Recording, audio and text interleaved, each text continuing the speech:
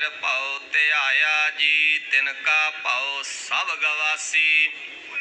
ਜਿਨ ਸੇਵਿਆ ਜਿਨ ਸੇਵਿਆ ਮੇਰਾ ਹਰ ਜੀ ਤੇ ਹਰ ਹਰ ਰੂਪ ਸਮਾਸੀ। ਸੇ ਧੰਨ ਸੇ ਧੰਨ, ਜਿਨ ਹਰ ਧਿਆਇਆ ਜੀ, ਜਨ ਨਾਨਕ।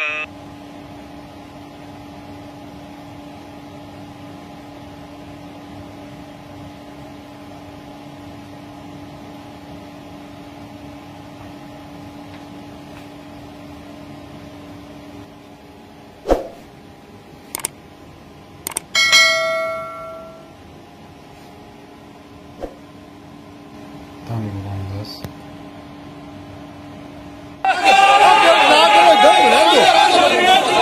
ਉਹਦਾ ਪਿਆਰਨ ਦੋ ਯਾਰ ਪਿਆਰਨ ਥੱਲੇ ਵੀ ਜੀ ਸਰ ਸਰ ਜੋ ਅੱਜ ਜੀ ਸਰ ਕੀ ਮਾਮਲਾ ਪੂਰਾ ਹੋਇਆ ਅੱਜ ਪੜਤਾਲ ਚੱਲ ਰਹੀ ਹੈ। ਲੇਕਿਨ ਉਹ ਜਿਹੜਾ ਬੇਅਦਬੀ ਕਰਨ ਵਾਲਾ ਸੀਗਾ ਉਹਨੂੰ ਉੱਥੇ ਲੈ ਕੇ ਹੋਏ ਨੇ ਸਿਵਲ ਹਸਪੀਟਲ ਲੈ ਕੇ ਹੋਏ ਨੇ ਉੱਥੇ। ਉਹਦੀ ਜਾਂਚ ਜੇ ਚੱਲ ਰਹੀ ਹੈ ਕਿ ਉਹਦਾ ਐਡਰੈਸ ਕੀ ਹੈ ਕੌਣ ਹੈਗਾ ਉਹਦੇ ਬਾਰੇ ਜੇ ਪੁੱਛ ਰਹੇ ਪਰ ਕਿਹਾ ਜਾ ਰਿਹਾ ਕਿ ਸੰਗਤ ਵੱਲੋਂ ਕਿ ਬੰਦੇ ਦੀ ਮੌਕੇ ਤੇ ਜਿਹੜੀ ਮੌਤ ਹੋ ਗਈ ਆ ਜਿਹੜੀ ਐਸਜੀਪੀਸੀ ਦੀ ਜਿਹੜੀ ਪੁੱਛਗਿੱਛ ਦੇ ਨਾਲ ਹੀ। ਹਾਂ ਹੋ ਚੁੱਕੀ ਹੈ। ਹੂੰ। ਮੌਤ ਹੋ ਚੁੱਕੀ ਹੈ ਲੇਕਿਨ ਇਹਨੂੰ ਸੰਗਤ ਨੂੰ ਮੈਂ ਬੇਨਤੀ ਕਰਦਾ ਕਿ ਸੰਗਤ ਜਿਹੜੀ ਆ ਉਹ ਸ਼ਾਂਤਮਈ ਤਰੀਕੇ ਦੇ ਨਾਲ ਬੈਠਣ।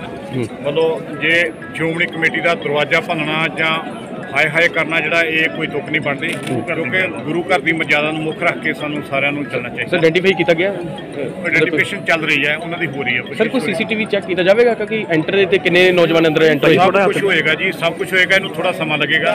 ਲੇਕਿਨ ਮੈਂ ਸੰਗਤ ਨੂੰ ਬੇਨਤੀ ਕਰਦਾ ਕਿ ਸੰਗਤ ਜਿਹੜੀ ਆ ਉਹ ਸ਼ਾਂਤਮਈ ਤਰੀਕੇ ਦੇ ਨਾਲ ਇੱਕ ਸ਼ਰਧਾਲੂਆਂ ਦੇ ਤੌਰ ਤੇ ਬੈਠਣ ਲੇਕਿਨ ਸ਼੍ਰੋਮਣੀ ਕਮੇਟੀ ਦਾ ਜਿਵੇਂ ਦਰਵਾਜ਼ਾ ਤੋੜਨਾ ਜਾਂ ਭੰਨਣਾ ਜਾਂ ਲਾਲਾ ਲਾ ਕਰਨੀ ਉਹ ਸਿੱਖੀਜ਼ਮ ਦੇ ਵਿੱਚ ਉਹ ਠੀਕ ਨਹੀਂ ਲੱਗ ਰਿਹਾ ਕੀ ਨਾਮ ਕੀ ਸਾ- ਸਾਹਮਣੇ ਆਇਆ ਜੀ ਕਿੰਨੀ ਉਮਰ ਸੀ ਕਿੱਥੋਂ ਦਾ ਰਹਿਣ ਵਾਲਾ ਸੀ ਉਹ? ਅਜੇ ਉਹ ਸਾਰਾ ਕਲੀਅਰ ਨਹੀਂ ਹੈ। ਇਹ ਜਿਹੜੀ ਹੈਗੀ ਆ ਉਹ 30 35 ਸਾਲ ਦੇ ਕਰੀਬ ਲੱਗ ਰਹੀ। ਤੇ ਕਿੱਥੋਂ ਰਹਿਣ ਵਾਲਾ ਸੀ ਮੰਚਾ ਜੀ ਸੀ?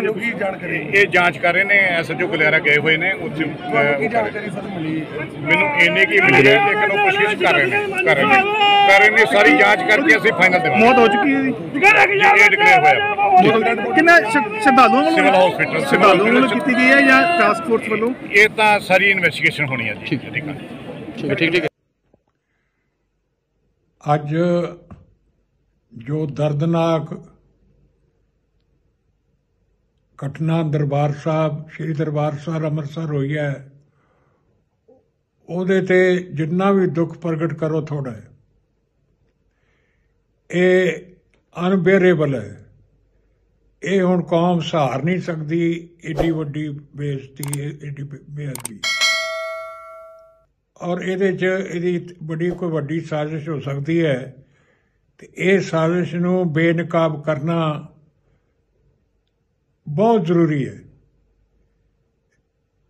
ਇਸ ਲਈ ਮੈਂ ਸੈਂਟਰਲ ਗਵਰਨਮੈਂਟ ਜਾਂ ਕੋਈ ਜੁਡੀਸ਼ੀਅਲ ਏਜੰਸੀ ਇਹਦੀ ਵੱਡੀ ਇਨਕੁਆਇਰੀ ਕਰੇ ਤਾਂ ਕਿ ਜਿਹੜਾ ਲੋਕਾਂ ਦੇ ਹਿਰਦੇ ਅੱਜ ਇਹ- ਇੰਨੇ ਉਹਨਾਂ ਦੇ ਸੱਟ ਵੱਜੀ ਹੈ ਉਹਨਾਂ ਨੂੰ ਇਸ ਚੀਜ਼ ਦੀ ਪਤਾ ਲੱਗ ਸਕੇ।